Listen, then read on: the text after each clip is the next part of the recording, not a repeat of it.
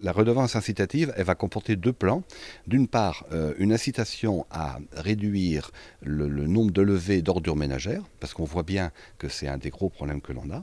Donc l'incitation elle porte là-dessus. Et deuxième incitation sur le nombre de passages en déchetterie. Donc là, le nombre de passages en déchetterie, j'insiste là-dessus, ce n'est pas pour diminuer les volumes, c'est pour beaucoup mieux trier. Parce que si on y va moins souvent, on va trier. En arrivant en déchetterie, on va être accompagné pour, pour, voilà, pour mieux trier. Voilà, c'est ça l'enjeu. Et si on avance là-dessus, pour le moment, vous voyez les emballages, on va continuer à les collecter sans limitation. Sans limitation.